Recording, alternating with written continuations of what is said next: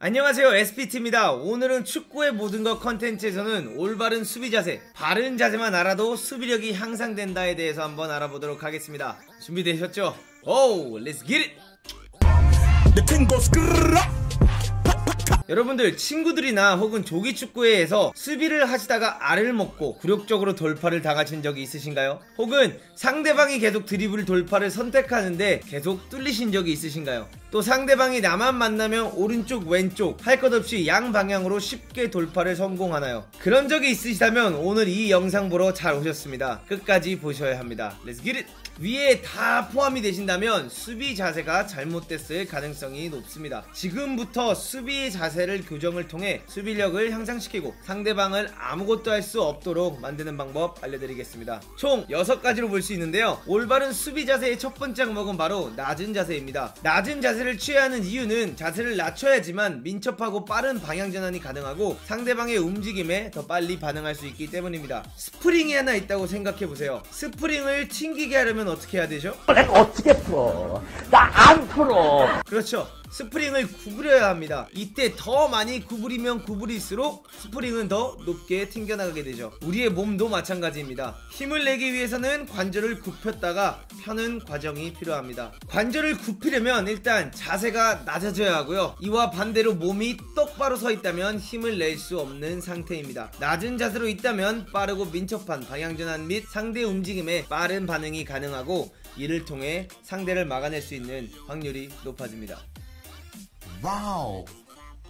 자, 두 번째 항목은 바로 상대와 대각선으로 서는 거예요. 보통 축구를 접하시는 분들 혹은 즐기시는 분들이 가장 흔하게 나오는 수비 자세가 바로 상대와 똑바로 마주서고 있는 겁니다. 상대와 똑바로 마주선다면 상대방이 양 방향 어디로 드리블을 치더라도 몸을 돌려서 쫓아가야 하고 또 마주선 순간 다리가 벌려질 수밖에 없기 때문에 굴욕적인 알, 가랑이 사이로 볼을 빼는 것을 먹기도 합니다. 그렇기 때문에 상대와 대각선으로 서는 것이 중요하고 대각선으로 섰을 때 상대 를 한쪽으로 몰아낼 수 있습니다. 그리고 상대를 한쪽으로 몰을 때는 중앙보다는 사이드 쪽, 상대의 약발 쪽으로 몰아가는 것이 굉장히 좋습니다. 예를 들어 예전에 반다이크가 손흥민 선수를 상대로 보여줬던 수비력 때문에 엄청난 이슈가 됐던 거 기억하시죠? 이렇게 대각선으로 선 후 적절한 위치에서 상대를 한쪽으로 몰아간다면 뚫리더라도 팀이 커버하기가 쉽기 때문에 결과적으로 수비에 성공할 수 있습니다. 세 번째는 수비는 상대방의 움직임에 빠르게 반응하는 것이 굉장히 중요합니다. 그러면 빠르게 반응하기 위해서는 뭘 해야 할까요? 뭘 해야 되죠? 맞습니다. 경기 전에 몬스터 한 캔 드시면 됩니다.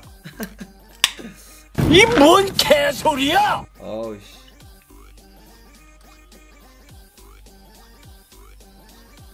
피펠 아니에요 여러분들 피펠이면 얼마나 좋을까요 그죠? 뒤꿈치를 떼고 있는 습관이 필요합니다 발 뒤꿈치를 땅에 붙이고 있게 되면 반응하는데 오래 걸리기 때문에 항상 뒤꿈치를 떼고 준비 자세를 취하고 있어야 합니다. 여러분들이 무언가를 하고 싶을 때 어떻게 하시나요? 발을 동동동동동동 굴린다는 표현을 쓰잖아요. 그거와 같습니다. 빨리 하고 싶고 민첩하게 하고 싶다면 뒤꿈치를 떼고 있으시면 됩니다. 어, 네 번째는 바로 우리가 눈이 두 개인 이유예요.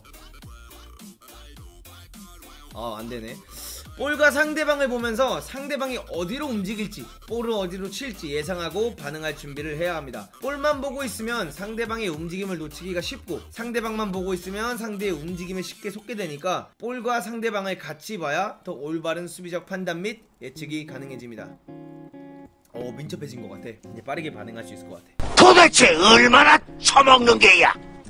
돼지 같은 놈. 다섯 번째로는 바로 팔 사용하기예요 팔 축구하는데 골키퍼도 아닌데 팔을 사용한다? 팔을 사용하는 것 또한 매우 중요합니다 이, 이때 팔 사용은 파울하지 않는 범위 내에서 해야 돼요 상대와 가까이 붙어 있을 때 팔을 사용해서 상대방을 귀찮게 해야 됩니다 예를 들어 여러분들이 게임을 하고 있거나 화장을 하고 있는데 여자친구 혹은 남자친구가 옆에 와서 계속 팔을 잡으면서 나랑 이거 해줘 저거 해줘 하면 굉장히 귀찮으시죠 그거와 같다고 생각하시면 됩니다 어? 아니에요? 나만 쓰레기야?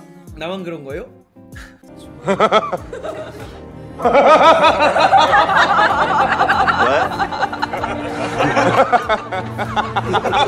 팔을 사용한다면 상대방의 진로를 제한의 한쪽으로 몰아낼 수 있고 상대방이 내가 예측한 방향으로 갔을 때 어깨와 팔을 넣어 상대방의 움직임을 막을 수도 있으며 상대가 등을 질 때 상대를 쉽게 밀어낼 수도 있습니다.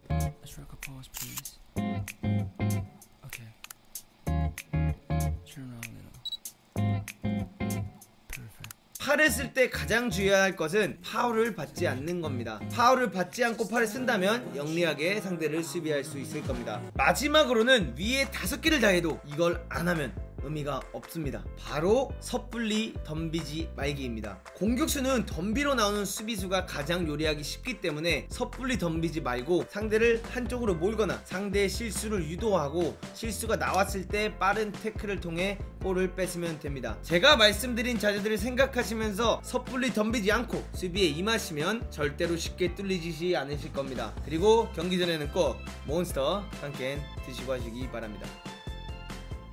여러분들이 앞으로 저희 컨텐츠를 통해서 보고 싶은 게 있으시다면 댓글에 남겨주시면 제가 제작하도록 하고요. 어, 재밌으시길 바라고 조 유익한 컨텐츠였길 바라겠습니다. 구독과 좋아요 그리고 알람 설정 부탁드리고요. 어, 다음 컨텐츠 때 또 뵙도록 하겠습니다.